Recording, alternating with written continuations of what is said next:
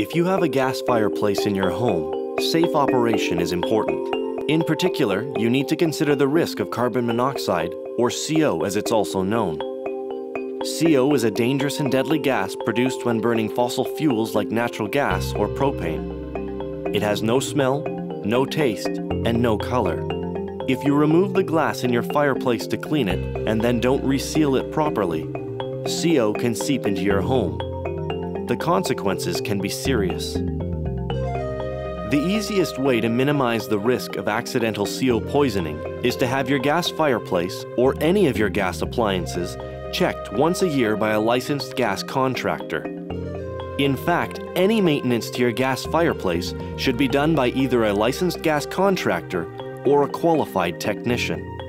You can find one by looking under heating contractors in your phone book. If you must remove the glass from your fireplace, whether to clean it or for any other reason, make certain you follow these important safety precautions. First, before removing the glass, turn off the gas supply to the fireplace.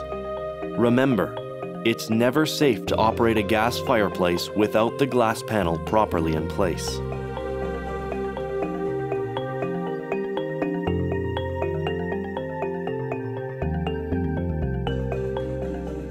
Next, while the glass is still in place, inspect the gasket if you can. On some models of fireplaces, you may not be able to do this. The gasket is the soft material that provides the seal between the glass and the fireplace itself.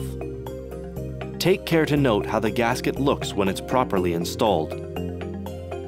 Then, carefully remove the glass by following the instructions in your owner's manual. Clean the glass as required. Be sure to use a cleaner that's approved for fireplace glass panels. Using an improper cleaner could cause the glass to explode. Before reinstalling the glass, check the condition of the gasket.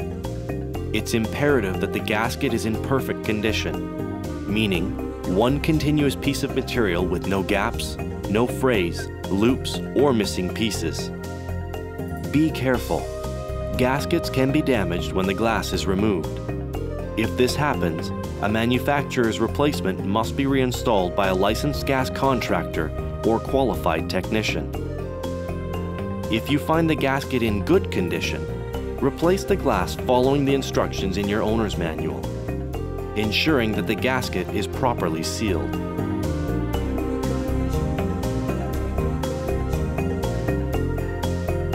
After you have reinstalled the glass, turn on the gas supply to your fireplace and carefully light it. Let it burn for five minutes to allow any dust particles or other contaminants to burn off then smell, and look. Any unusual odors could mean you have products of combustion and possibly carbon monoxide leaking into your home. Another indication of a leak is if you see wicks of moisture forming on the outside of your fireplace.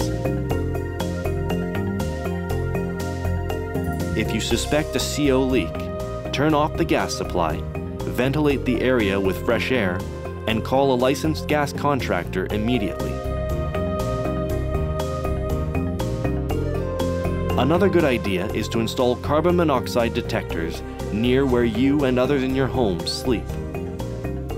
When buying a CO detector, look for the seal of a recognized testing agency, such as the Canadian Standards Association or the Underwriters Laboratory of Canada. These are a few simple but effective ways to keep your home and family safe from the threat of CO poisoning year-round. A safety message from SaskPower Gas Inspections.